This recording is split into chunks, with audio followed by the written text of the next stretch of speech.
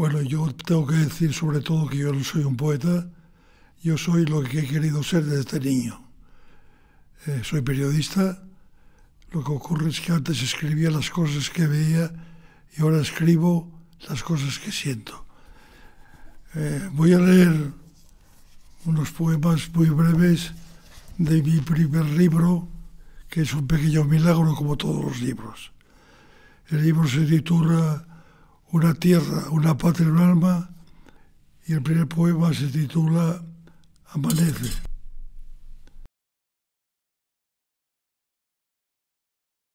Amanece sin sol. El día traerá otras cosas, hermosas muchas de ellas, como esa barca humilde que camina en silencio en busca de un poco de pan sin miedo a la niebla. Otro poema también breve, Las nubes.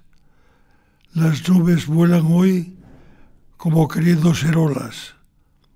Tal vez sueñen ser con barca, cansadas de volar, sabrán echar las redes para recoger el pan. Otro que lleva el título de mi pueblo, el pueblo donde nací, Moreda. Te recuerdo hoy entre la niebla leve que rodará hacia el valle más tarde, en la noche, cuando acuda a la ciudad eterna la luna grande del invierno.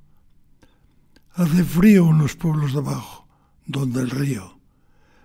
La desilusión es fuego, el temor llama en el aire. No resuena la tarea compartida y vive en silencio el afán de la mañana. Pronto regresarán las estrellas y más luz habrá en el cielo y también abajo en el valle triste.